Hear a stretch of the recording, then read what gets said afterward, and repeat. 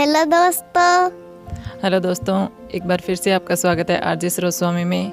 और मुझे कमेंट आई थी कि अपनी बेटी से मिलवाइए। तो ये मेरी बेटी है किरण। आप सब कैसे हो? हेलो दोस्तों। लॉकडाउन है आज। घर में रहे खुशी खुशी रहे। आपके परिवार से क्या लड़ाई ना करे। दोस्तों मोदी जी के भी करे। धन्यवाद।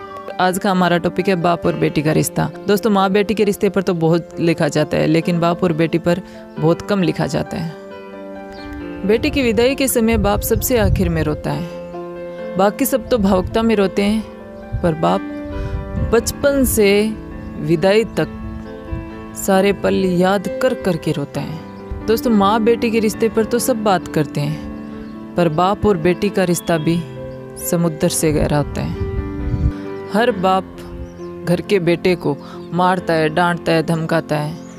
लेकिन बेटी की हर गलती को नकली दादागिरी से नज़रअंदाज कर देता है। बेटा कुछ भी मांगे तो उसे एक बार को डांट मिल जाती है। लेकिन बेटी अगर कुछ भी मांगे, धीरे से भी मांग ले तो उसकी हर इच्छा पूरी होती है। दुनिया उस बाप से सब कुछ लूट ले, सब कुछ मांग ले तो भी वो हार नहीं मानता। लेकिन अपनी बेटी की आँखों के आँसू देखकर जो अंदर से बिखर जाए, उसे बाप कहते हैं। और बेटी को भी घर में अपने बाप का बहुत घमंड होता है। किसी ने कुछ बोला कि तपाक से बोलती है, पापा को आने दे, फिर बताती हूँ तुझे तो। बेटी घर में रहती तो माँ के आंचल में है, लेकिन उसकी हिम्मत, उसके पिता ही होते हैं। बेटी की जब विदाई होती है तो सबसे मिलकर खूब रोती है। लेकिन जब अपने पिता से मिलती है तो फूट फूट कर रोती है। उसे अपने पिता को छोड़ने का मन नहीं करता है, क्योंकि उस बच्ची को पता है कि वो पिता ही हैं, जिसके घर में रह के, जिसकी छाँव में रह के वो अपनी हर जिद पूरी करवा लेती है। खैर, बाप रोता भी है और अपनी बेटी की पीठ थपथपाकर। हिम्मत भी देता है। कि बेटा, चिंता मत कर। चार दिन में आ जाऊँगा तुझे वापस लेने। और खुद निकल जाता है किसी कोने में। और उस कोने में जाके फूट फूट कर रोता है। जब तक बाप ज़िंदा रहता है, बेटी मायके में हक से आती है। और घर में जिद भी कर लेती है।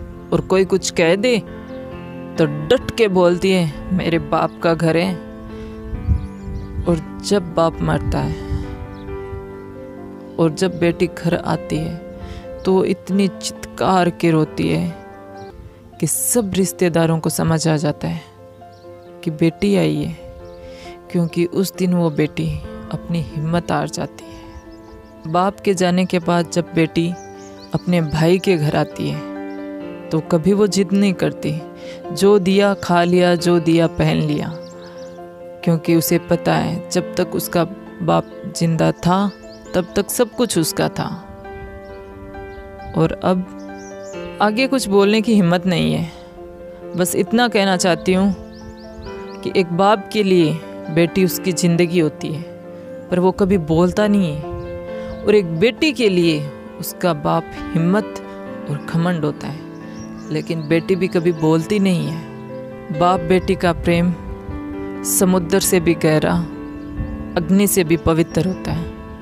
ये कविता पवन जी ने मुझे कमेंट में लिखी थी, मुझे बहुत पसंद आई, इसलिए मैं आप सबको सुनाना चाहती हूँ। मुझको मेरा हक दो पापा, मुझको मेरा हक दो पापा, बहुत कुछ कर दिखाऊँगी। लेने दो खुली हवा में साँसें, बेटे से ज़्यादा फ़र्ज़ निभाऊँगी। मुझको मेरा हक दो पापा बहुत कुछ कर दिखाऊँगी उड़ने दो पतंग के जैसी, उड़ने दो पतंग के जैसी आसमां को छुकर आऊँगी। क्यों डरते हो इस हैवानी दुनिया से? क्यों डरते हो इस हैवानी दुनिया से? अकेले सब पर भारी पड़ जाऊँगी। मुझको मेरा हक दो पापा, बहुत कुछ कर दिखाऊँगी माना डगर कठिन बहुत है। माना डगर कठिन बहुत है। मंजिल तक फिर भी जाऊँगी। मुझ पर भरोसा करो तुम, कभी ना दुख पहुंचाऊँगी। मुझको मेरा हक दो, पापा। बहुत कुछ कर दिखाऊँगी।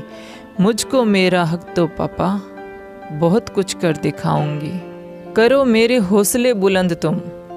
करो मेरे हौसले बुलंद तुम। अधूरे सपने पूरे कर दिखाऊँगी। मत आंको कम मेरी ताकत को। संतान का हर फ़र्ज़ निभाऊँगी। मुझको मेरा हक दो, पापा। बहुत कुछ कर दिखाऊँगी। समझा देना मेरी माता को, जिसने नारी का हर दुख झेला है। समझा देना मेरी माता को, जिसने नारी का हर दुख झेला है। रखे हौसला अब दिन दूर नहीं, तुम दोनों का सम्मान बढ़ाऊँगी। मुझको मेरा हक दो, पापा। बहुत कुछ कर दिखाऊँगी। आएगा अगर वक्त बुरा भी। हर सुख दुख में साथ निभाऊँगी। आएगा अगर वक्त बुरा भी, हर सुख दुख में साथ निभाऊँगी। नहीं बनूँगी कमज़ोर कड़ी, अपने घर की ताकत बन जाऊँगी। मुझको मेरा हक दो पापा, बहुत कुछ कर दिखाऊँगी। शान हूँ अपने बाबुल की, कभी ना नीचा दिखाऊँगी। शान हूँ अपने बाबुल की, कभी ना नीचा दिखाऊँगी। खेले कोई मेरी आन से। रूप दुर्गा चंडी का धर जाऊँगी। मुझको मेरा हक दो पापा, बहुत कुछ कर दिखाऊँगी। मुझको मेरा हक दो पापा, बहुत कुछ कर दिखाऊँगी।